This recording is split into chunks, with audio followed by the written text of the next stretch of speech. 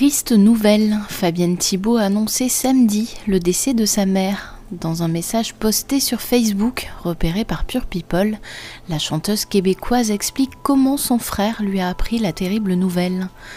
J'ai les yeux sur la messagerie, je vois les petits points qui bougent, les mots apparaissent, mon frère écrit, je sais. Elle est partie, elle est venue me voir, je l'ai senti. Hier matin encore, je lui ai parlé.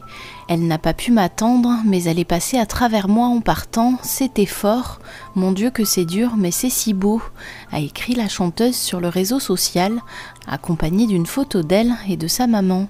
Depuis l'annonce du décès de sa mère, des centaines de fans se sont empressés de présenter leurs condoléances à celle qui a incarné Marie-Jeanne, la serveuse automate, dans la célèbre comédie musicale Starmania. Fabienne Thibault a tenu à les remercier de leur soutien dans un second message. Merci à tous pour vos témoignages de réconfort pour le départ de ma mère. C'est elle émue dans un message posté lui aussi sur son compte Facebook.